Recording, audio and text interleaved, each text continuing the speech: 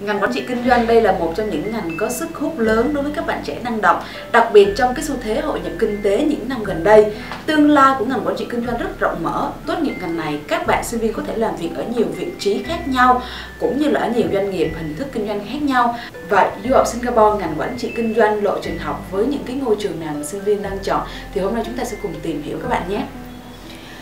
với những cái bạn mà chưa tốt nghiệp trung học phổ thông mà muốn đi du học Singapore ngành quản trị kinh doanh thì à, các bạn phải trải qua một cái khóa dự bị trước khi các bạn à, vào chương trình chính. À, nếu như mà bạn chưa có bằng IELTS thì tất nhiên là bạn sẽ học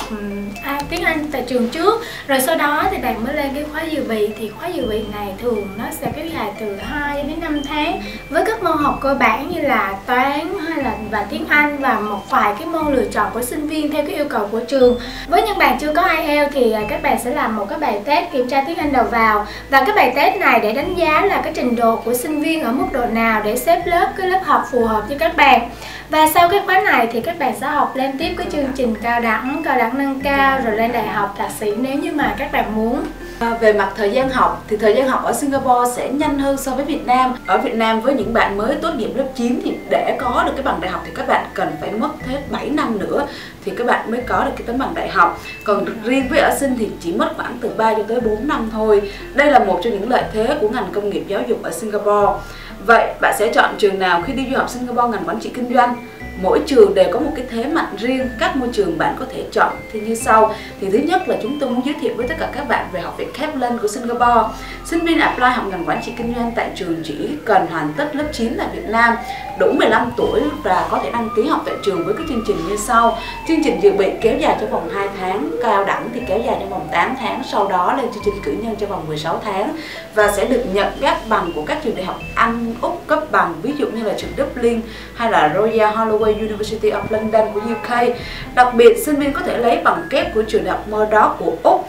nghĩa là cùng một cái thời gian học cùng cái mức học phí không thay đổi mà trên bằng sinh viên nhận được sẽ thể hiện hai chuyên ngành của các bạn à, theo học Chính vì có hai chuyên ngành này cho nên cái cơ hội việc làm của các bạn sau khi tốt nghiệp nó sẽ rộng mở hơn. Sinh viên muốn học lấy cái bằng thạc sĩ thì các bạn chỉ học thêm khoảng cỡ 15 tháng nữa và sẽ được nhận cái bằng thạc sĩ do chính trường đại học Northumbria University cấp bằng. Và trường thứ hai mà tăng Đại Dương muốn giới thiệu với các bạn khi các bạn đi du học Singapore ngành quản trị kinh doanh đó là trường Nam Giang. Thì à, đây là trường mà được cũng được rất nhiều sinh viên Việt Nam lựa chọn trong thời gian gần đây. Thì trường này chỉ có đào tạo 4 chuyên ngành thôi. Ngoài cái ngành quản trị kinh doanh ra thì à, trường còn đào tạo thêm ngành như là du lịch khách sạn, ngành logistics và thêm một ngành nữa là ngành xây dựng. Thì à, sinh viên với chuyên ngành quản trị kinh doanh thì các bạn à, học chương trình cử nhân do trường đại học và Leeds Package University University của UK cấp bằng. Và với thời gian học thì à, của trường các bạn có thể là chọn hai cái lộ trình.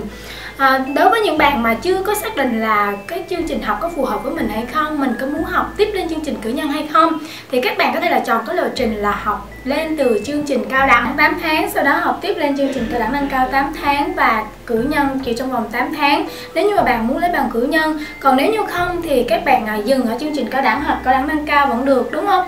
Còn đối với những bạn mà đã xác định ngay từ đầu là mình sẽ lấy cái bằng cử nhân luôn, thì các bạn sẽ chọn cái chương trình là cao đẳng cao đẳng nâng cao gộp lại 16 tháng và chương trình cử nhân là 8 tháng thì dù là bạn chọn cái chương trình nào, cái lộ trình nào, thì cái thời gian học của bạn cũng chỉ tốn 24 tháng cho chương trình cử nhân mà thôi. Nhưng mà cái này nó chỉ để là để các bạn sinh viên, nếu như mà bạn chưa có xác định được ngay từ đầu mình học đến chương trình nào để các bạn à, chọn thì nó sẽ chia ra cái lộ trình này thôi. Nên là khi mà các bạn tới tư vấn thì chúng tôi sẽ hướng dẫn các bạn là tư vấn cho các bạn là bạn có những cái nguyện vọng nào và bạn nên đi theo cái lộ trình nào phù hợp thì lúc đó chúng tôi sẽ hướng dẫn với các bạn và những bạn mà muốn lấy thêm cái bằng thạc sĩ thì à, các bạn sẽ học tiếp lên 12 tháng và lấy bằng thạc sĩ do trường đại học của Anh Quốc cấp bằng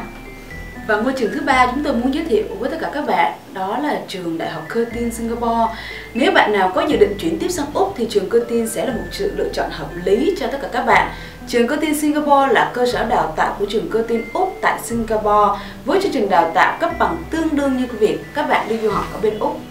Sinh viên học tại trường Curtin Singapore, ngoài việc tiết kiệm được 40% học phí so với học tại Úc, thì còn tiết kiệm được phí sinh hoạt nhờ thời gian học liên tục bởi vì các kỳ nghỉ của Singapore nó rất là ngắn họ sẽ không có nghỉ những cái kỳ nghỉ hè 3 tháng như là ở bên Úc. Về cái chương trình của trường, thì trường nhận học sinh hết lớp 11 với cái lộ trình học như sau. Sinh viên hoàn tất lớp 11 thì sẽ học cái lộ trình là chương trình cao đẳng 16 tháng. Sau đó các bạn lên chương trình cử nhân 16 tháng. Như vậy, với những bạn hoàn tất lớp 11 tại Việt Nam thì cái lộ trình học của các bạn sẽ tổng cộng là mất 32 tháng để các bạn có thể lấy được bằng cử nhân của trường đại học Úc cấp bằng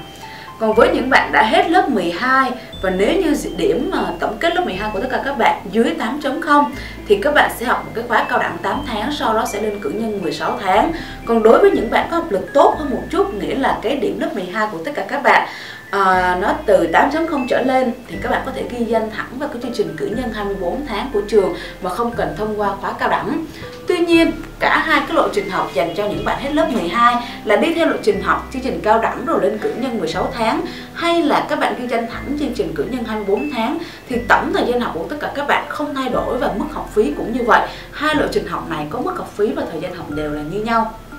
nó chỉ là phân biệt giữa cái điểm ờ, tổng kết lớp 12 thôi đúng không? Đúng rồi, bởi vì uh, cái chương trình cao đẳng thì cái yêu cầu của họ nhẹ hơn một chút so với chương trình cử nhân. Và trường tiếp theo đó là trường EIC thì à, cũng như như An Giang hay là Kaplan thì à, trường cũng nhận học sinh là hoàn tất lớp 9 tại Việt Nam thì có thể là đăng ký học tại trường rồi. Và lộ trình đối với những bạn mà hoàn tất lớp 9 tại Việt Nam thì các bạn sẽ học chương trình dự bị trước. Chương trình dự bị thì bạn sẽ học trong vòng là 4 tháng rưỡi. Sau đó bạn lên chương trình cao đẳng nâng cao là 20 tháng và chương trình cử nhân sẽ là 12 tháng. Và các bạn có thể là chọn học lấy bằng của trường Greenwich hoặc là trường à, Wolverhampton của anh Quốc thì à, mỗi trường thì nó sẽ có một cái yêu cầu riêng nên là à, khi mà bạn chọn thì tất nhiên là bạn phải đáp ứng được những cái yêu cầu của trường. Và bạn nào muốn lấy bằng thạc sĩ thì học tiếp lên 12 tháng đối với những bạn mà à, có kinh nghiệm làm việc rồi thì các bạn chọn chương trình này được. Còn nếu như bạn mà chưa có kinh nghiệm làm việc thì các bạn phải chọn chương trình 18 tháng. Tại vì chương trình 18 tháng này thì không có yêu cầu kinh nghiệm làm việc. Ngoài những cái ngôi trường mà chúng tôi vừa mới chia sẻ với tất cả các bạn ví dụ như là Kaplan, ESC, Nanyang hay là cơ tin thì ngành quản trị kinh doanh tại Singapore các bạn có thể tham khảo thêm một số trường như là Học viện FDIS, BSB hay là EASB hầu như trường nào bên Singapore cũng có đào tạo ngành này. Nếu bạn thắc mắc về trường hợp hồ sơ của mình hiện tại thì lộ trình học của bạn sẽ như thế nào? Mức học phí các bạn sẽ phải trang trải cho cái việc học của mình là bao nhiêu? Thì hãy liên lạc ngay với chúng tôi để được tư vấn hỗ trợ và làm hồ sơ các bạn nhé. Các bạn lưu ý là chúng tôi làm hồ sơ hoàn toàn miễn phí cho tất cả các bạn bởi vì chúng tôi là đại diện tuyển sinh chính thức của trường Singapore tại Việt Nam và những bạn nào mà có nguyện vọng đi du học Singapore mà các bạn đã chọn trường sẵn rồi, mà danh sách trường của bạn không nằm trong những cái trường mà chúng tôi giới thiệu ở đây, thì các bạn cũng đừng ngần ngại, hãy liên hệ ngay với chúng tôi. Chúng tôi cũng sẵn sàng hỗ trợ cho bạn và cung cấp thông tin cái trường của bạn để cho bạn có thể là dễ dàng apply cũng như là có thêm sự chọn lựa về trường cho cho mình khi mà đi du học Singapore ngành quản trị kinh doanh này nhé. Công ty Tân Đại Dương là một trong những công ty du học đầu tiên và hàng đầu tại Việt Nam, được thành lập bởi đội ngũ các nhà quản lý và tư vấn du học có nhiều năm kinh nghiệm trong ngành giáo dục cũng như được tu nghiệp và đào tạo ở nước ngoài. Với hơn 10 năm kinh nghiệm, Tân Đại Dương tự hào là nhà tư vấn du học chuyên nghiệp cho các du học sinh tại các nước trên thế giới, đặc biệt là Mỹ, Úc, Singapore, Anh Quốc, Hà Lan, Thụy Sĩ, vân vân. Cùng với đội ngũ tư vấn viên chuyên nghiệp, chúng tôi cung cấp các dịch vụ uy tín và trọn gói cho ngành du học du lịch Mỹ, bao gồm xử lý trọn bộ hồ sơ đi Mỹ từ A đến Z, kể cả các hồ sơ khó đã từng rớt visa hoặc không đủ tài chính. Tư vấn chọn trường tại tất cả các tiểu bang ở Mỹ. Chúng tôi tự hào là đại diện chính thức của hàng trăm trường đại học cao đẳng, trung học phổ thông tại Mỹ. Hướng dẫn các thủ tục xin visa, chứng minh tài chính, hướng dẫn điền form, dạy phỏng vấn du học du lịch Mỹ. Khai giảng hàng tháng các lớp học phỏng vấn, đảm bảo cho học sinh có được sự tự tin trả lời được mọi câu hỏi của lãnh sự quán. Đặt vé máy bay, sắp xếp nhà ở, ký túc xá cho du học sinh,